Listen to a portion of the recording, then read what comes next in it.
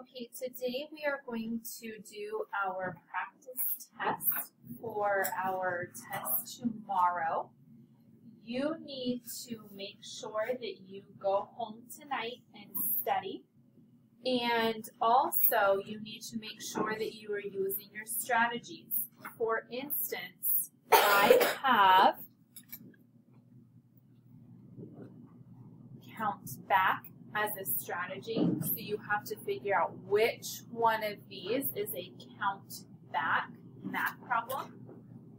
Also, if it says to use certain um, items like counters, then you need to draw counters. Or if it asks you to do cubes, then you need to do cubes. Okay. The directions down here say to count back one, two, or three. So we read it from left to right, like we always do. So 7 minus 3 equals what? And our difference goes here. Okay, that's the only thing that's different. Also, remember our families. So no matter which number you choose, it has to be true in both of these. Okay? Our our numbers going to be different?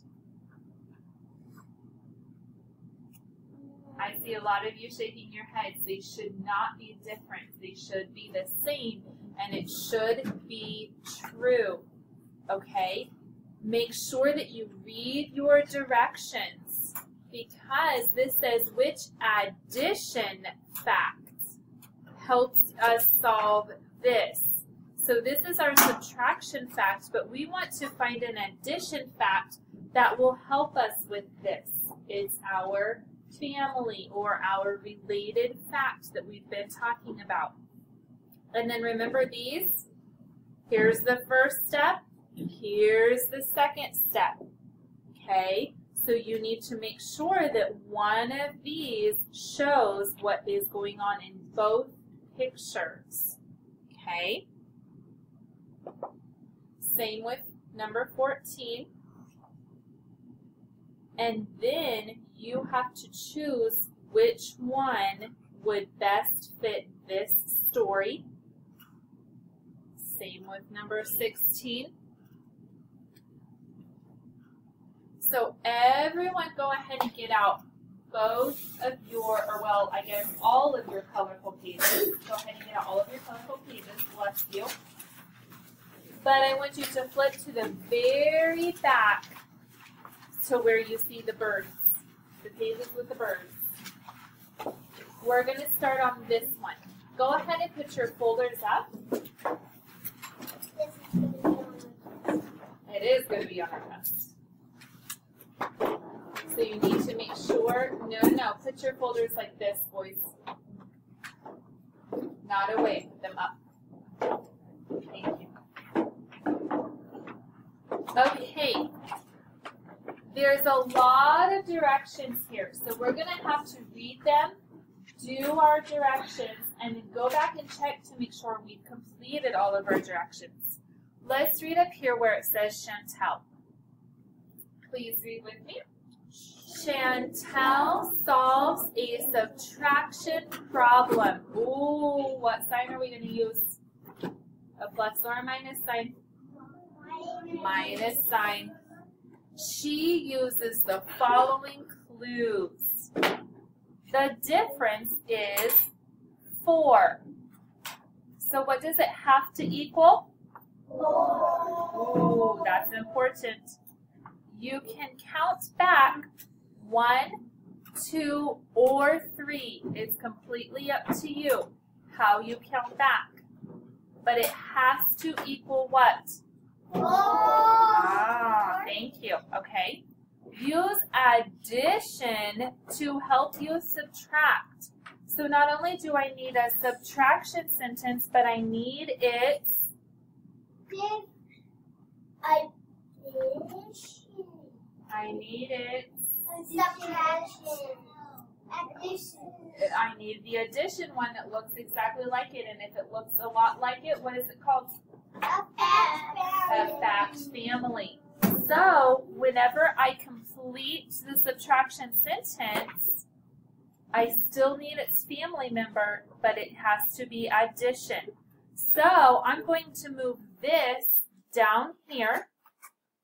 This minus this equals what? Four. Four. So it's already got some of your um, answer for you. Okay. But what number is going to go right here?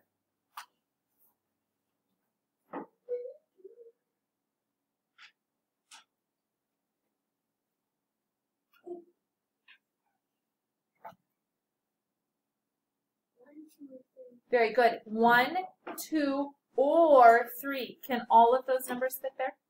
No, you get to choose.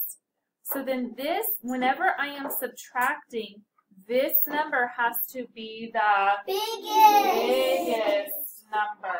So is this going to be bigger than 4? No. Yes. Yes, it has to be because it has to be the, Biggest, biggest number. number If it's- if it's not bigger than 4, then it can't work. Okay. Also, you need to be careful because if I put 5, is that bigger than 4? Yeah. Yeah. But if I put 3 down there, 5 minus 3, is that true that it No. equals 4? No. So it also has to be true. Okay? But then if I do that, make sure that my addition sentence 4 plus blank equals has to be your biggest number. Remember, it has to be my exact same numbers. Does everyone remember their fact families? Okay, I hope so. So let's do a fact family real quick. I'm not going to use any of the same numbers, so should you copy me? Why not?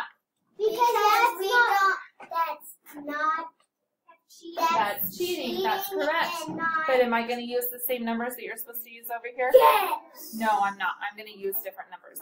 Okay, let's do 10 minus 3 equals Seven. 7. So if I'm going to switch it around to make an addition sentence, I'm going to put this Seven 7. plus. Plus.